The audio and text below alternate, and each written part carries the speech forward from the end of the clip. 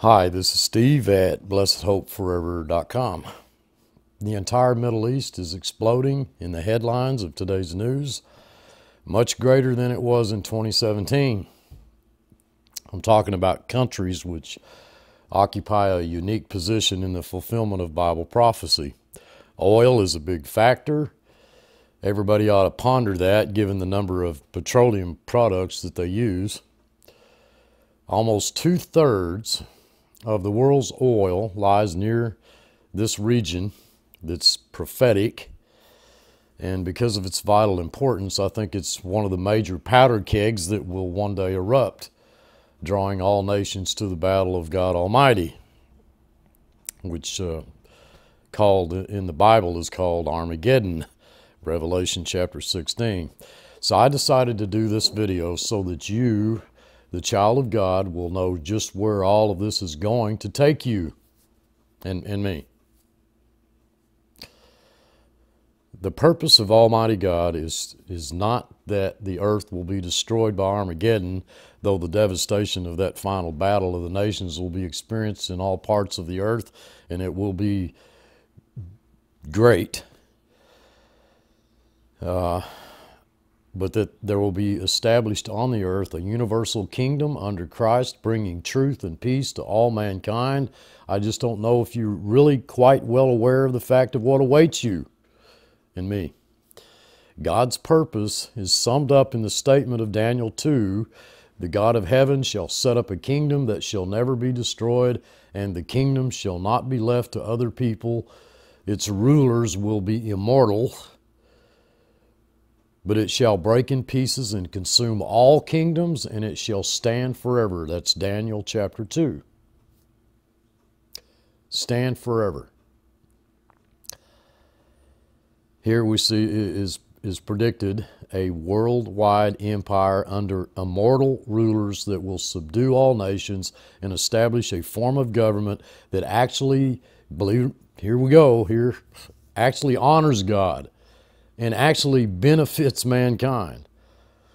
There's many references to that coming kingdom. They're found in the Bible, and, and the events are already operating in the earth that will bring it about. We know that from such passages as Zechariah 14, the Lord shall be king over all the earth. The kingdoms of this world become the kingdoms of our Lord and of his Christ, and he shall reign forever and ever. That's Revelation chapter 11. They, the, that is the redeemed, shall live and reign with Christ a thousand years. Actually, that's long, it's for eternity, but but the context is for that thousand years. We'll, we will reign and rule with Christ forever. That's Revelation chapter 20. The purpose of God is to fill this earth with His glory. Numbers chapter 14 and in so doing to cause righteousness and praise to spring forth before all the nations. Isaiah 61, imagine a world like that. That, of course, is not the state of things today, but it will be soon. It will become so when our Lord Jesus returns to assert his divine authority. As the result of his righteous government, there shall be that glory to God in the highest, and on earth peace and goodwill towards men. You know, the thing, you know, that folks, you know, send one another in Christmas cards all the time. You know, every time Christmas rolls around, we talk about that. It was for that that Christ taught his disciples to pray, Thy kingdom come, that thy will may be done in earth as it is in heaven. And we have waited patiently, oh, how we have, though with eagerness for his return, despite what even many Bible teachers think. Tangible signs of his return can already be seen even by the non elect in the turmoil of the Middle East, including the antagonism existing between Jews and Arabs, are witnesses to this fact. That's what makes the modern state of Israel so significant. Thus saith the Lord God, Behold, I will take the children of Israel from among the nations, whether they be gone, and will gather them on every side and bring them into their own land, and I will make them one nation in the land upon the mountains of Israel. and one king shall be king to them all. And I will save them out of all their dwelling places wherein they have sinned, and will cleanse them. So shall they be my people, and I will be their God. Ezekiel chapter 37. That prophecy, folks, is over 2,500 years old. And it demands these four developments in the latter days the return of the Jews to their ancient homeland, the latter day revival of the nation of Israel, the conversion of the nation to a monarchy, and the restoration of the Jewish people to divine favor. And two parts of that four pronged prophecy have been fulfilled. In 1917, the Balfour Declaration uh, invited the Jewish people to establish a national home in Palestine, mo modern Israel. It was confirmed by the League of Nations. The Jews commenced to return to their land after World War II ended the nation of Israel was reborn. 2,500 year old predictions of the Bible were fulfilled. For many of you, it was in, in your lifetime. Dramatically fulfilled in the face of seeming impossible odds. You think the rest of prophecy will be fulfilled? You know, the conversion of the, of the nation of Israel to a monarchy, and the restoration of the Jewish people to divine favor? Believe me, it will.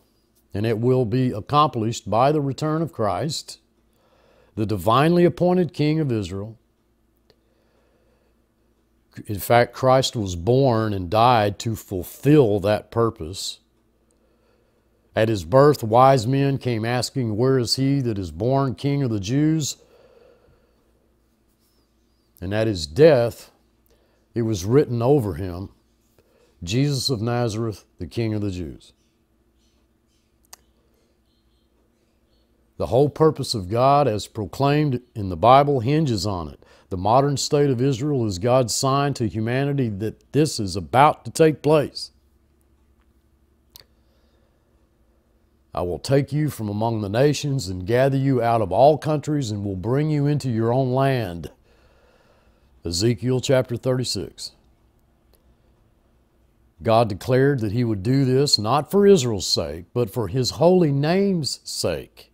He does it, dearly beloved, to vindicate his name, to fulfill his promises and prophecies, to demonstrate that complete confidence can be placed upon all that he has declared that he will accomplish. Christ will return. And he will extend his authority throughout the earth so that the promise of the gospel will become a fact in the earth. In thee shall all nations be blessed. Galatians chapter 3, which I think I would like to go to after we finish 2 Corinthians, if we're still here.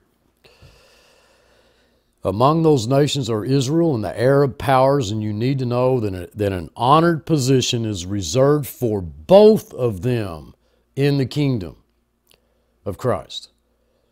It will see the termination of that state of hostility that has existed between those two related peoples for so long. Imagine that. Imagine that. And it will result in them living in peace with one another.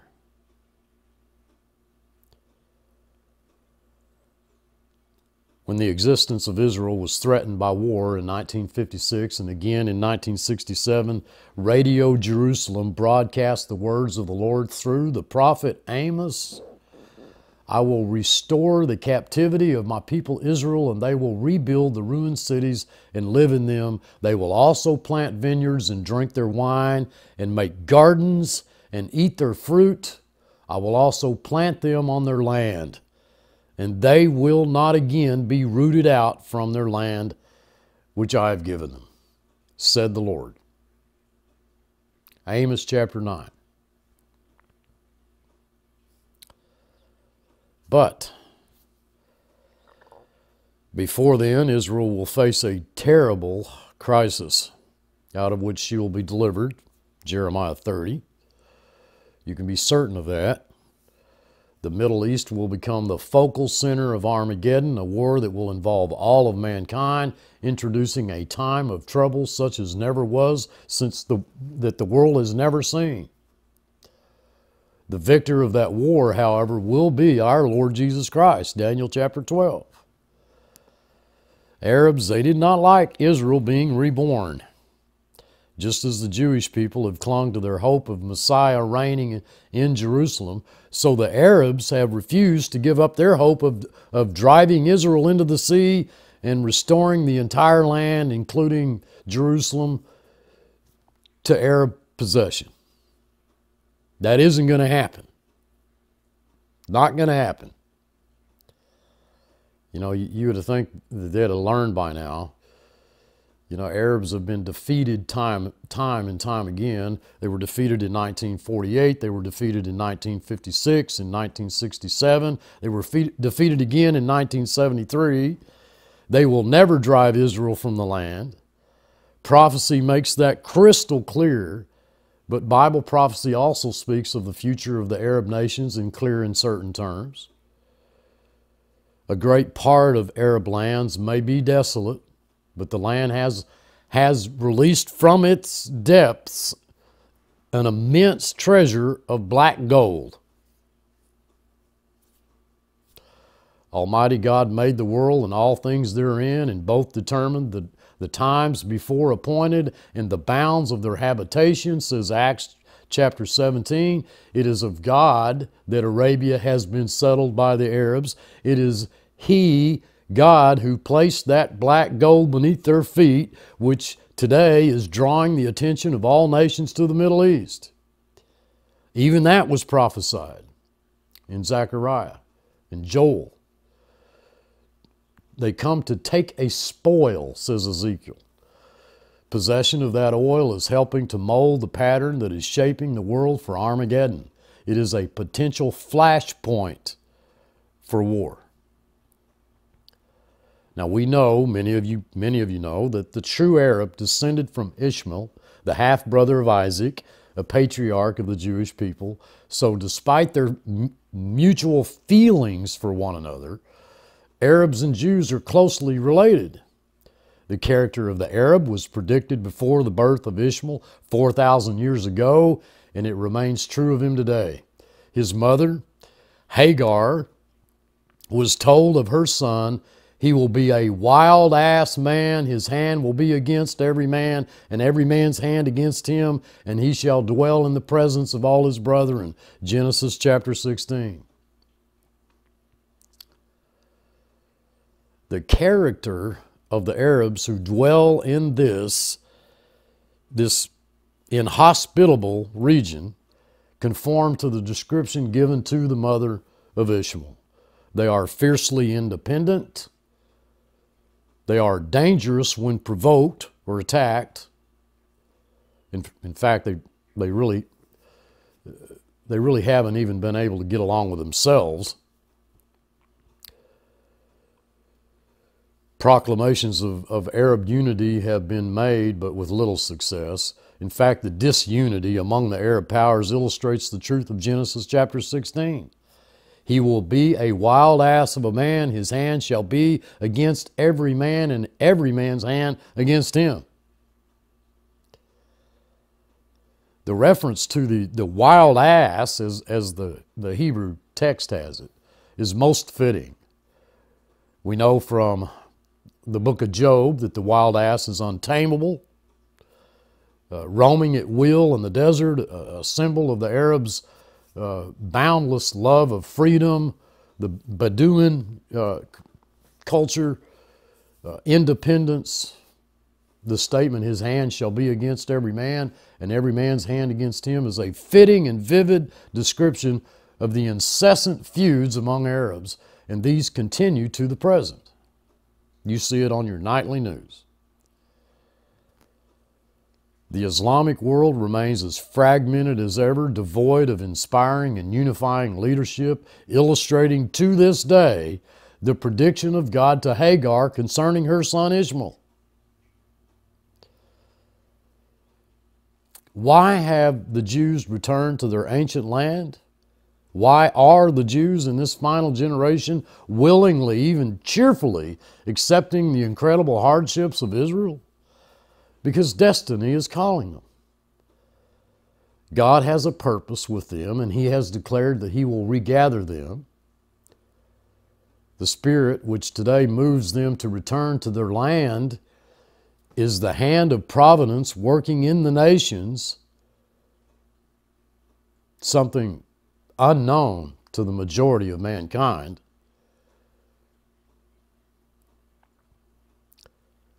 Consider yourself extremely blessed, privileged, blessed beyond measure. Many folks lived hoping to witness the times that we are living. You know, just, just don't let it go to your head. Because it's only by the grace of God that you and I even know what's going on.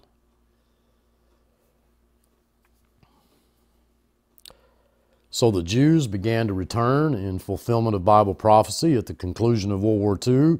That was before I was even born. End times prophecy was being wonderfully fulfilled before I was even born, before I even arrived on the scene. The old Islamic empires of the past have gone. They're replaced by the independent nations of, of Jordan, Syria, Lebanon, Saudi Arabia, and so forth such as Bible prophecy requires. But a spiritual empire still remains. The influence of the Quran extends far beyond the confines of Arabia to all parts of the world, to Indonesia, uh, parts of China, Pakistan, Afghanistan, India, Morocco, Tunis, uh, Egypt, Nigeria, Ken- Kenya, Russia. You could go on and on, you know. For many millions, the Quran is still the rule of faith. Mecca is still the holy city, and the eyes of these millions are turned five times a day toward the Middle East. Though this video pertains to everyone who walks upright and speaks, uh, this video is not a focus on Islam in particular or Arabs in particular, but Christ Israel, the church, the tribulation period, the kingdom, and what lies beyond. I find it remarkable that Judaism, Islam, and Christianity, all three announce the setting up on earth of a kingdom under the rulership of the Messiah. Of course, Judaism doesn't recognize Jesus Christ as the Messiah, uh, and Islam makes him subordinate to Muhammad, only true Christianity, with both Old and New Testaments, recognizes and proclaims the truth. Unfortunately, most sects within uh, branches of Christianity have intermixed serious error with their teaching. The Bible teaches that there is but one faith, one baptism, one Lord. Ephesians chapter 4.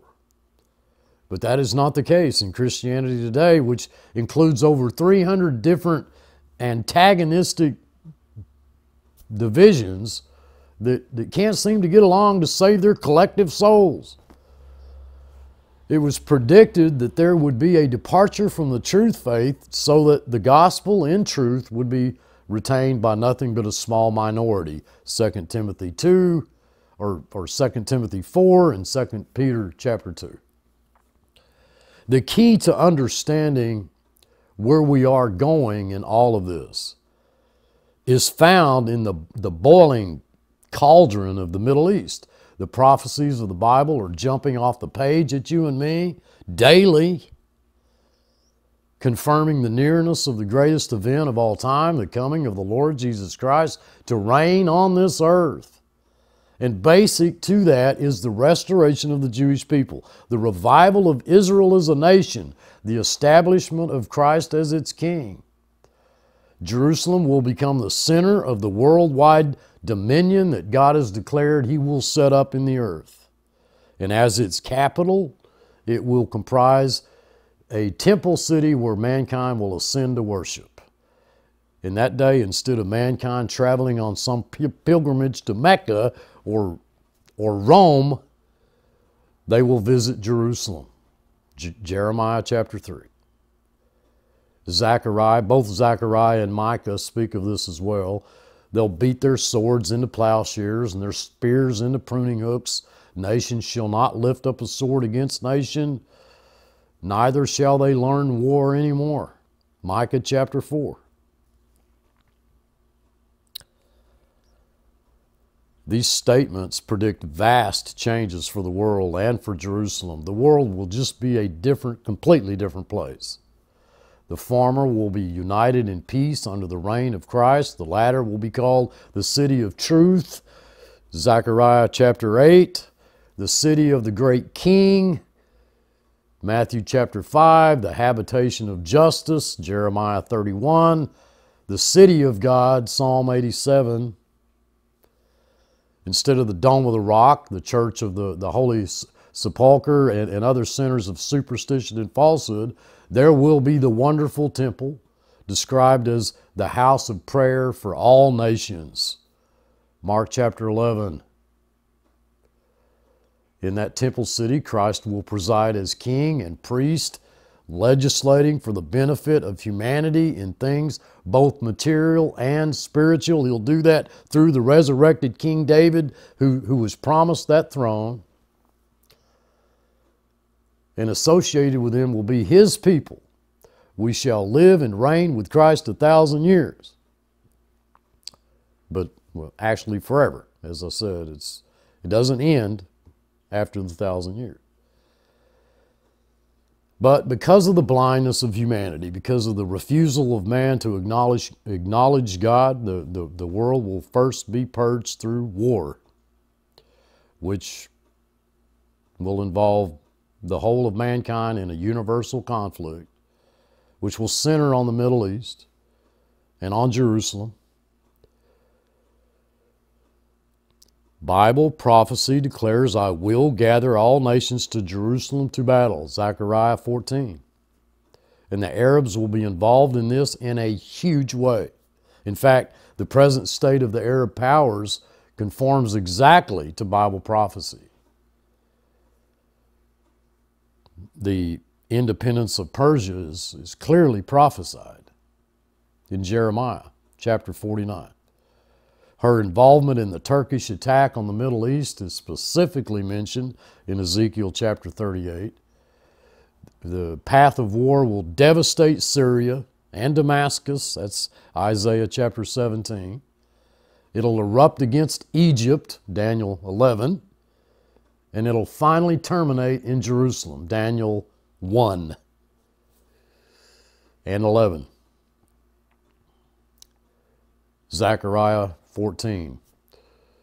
And there the Antichrist's coalition will meet its fate, being overthrown by a greater power than mere man. The Lord will go forth and fight against those nations as when he fought in the day of battle. Zechariah 14. Christ, wielding divine power beyond what anybody could imagine, will overthrow the nations, he'll establish his rule, and he'll establish his kingdom in the earth. Here is what you may not have given much thought to.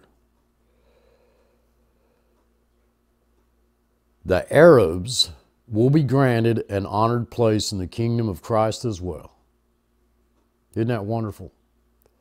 in response to Abraham's prayer, Oh, that Ishmael might live before thee. God promised, I will make of him a great nation. That has yet to be fulfilled. Even though the, fullness of God's covenant was established with Isaac. Therefore, though the, the first dominion of Christ's worldwide empire will be enjoyed by Israel, that's we know that from Micah chapter 4, the Arab nations will also inherit their portion. God promised that they will dwell peacefully in the presence of all their brethren, including Israel. He promises that in Genesis chapter 16. They will do so not in the promised land that Israel will inherit, but in the adjoining territory of Arabia. Because at that time, then the deserts will blossom as the rose, Isaiah 35, and instead of the burning heat of those sandy wastelands, there will be, as Isaiah predicts, forests in Arabia. and water in abundance. The Bible declares that Arab tribes descended from Ishmael.